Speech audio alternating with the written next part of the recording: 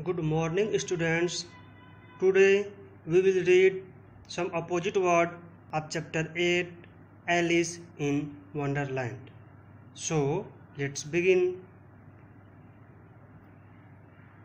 left right this is left and this is right तो बच्चों या लेफ़्ट जा रही है, या राइट जा रहा है तो लेफ़्ट का opposite right okay. Now next lovely ugly बच्चों लवली मीन्स सुंदर। देखिए बच्चों, कितना सुंदर दिख रहा है। अगली मीन्स भद्दा, बेकार, खराब। देखेंगे बच्चों, क्या है? अच्छा नहीं दिख रहा है ना? बिल्कुल नहीं।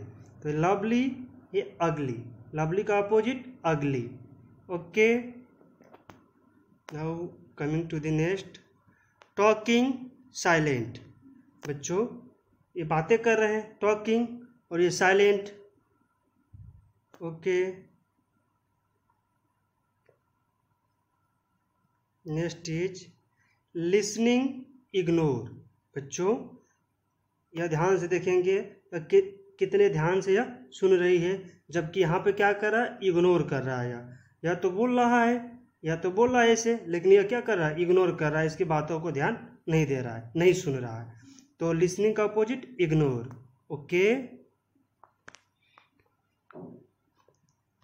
now next is see miss बच्चों, देखेंगे यह बच्ची देख रही है सी कर रही है, और यह बच्ची नहीं देख पा रही है मिस कर गई। कोई वस्तु आगे से कुछ जा रहा है तो यह तो देख ली तो सी और यह मिस कर गई तो इसे बोलेंगे मिस सी का opposite miss okay now next is centre opposite border तो बच्चों सेंटर का अपोजिट क्या होगा? बॉर्डर बच्चों, ध्यान से देखेंगे यह हमारा सेंटर है। यहाँ पर एरो दिखाया गया है, यह सेंटर है।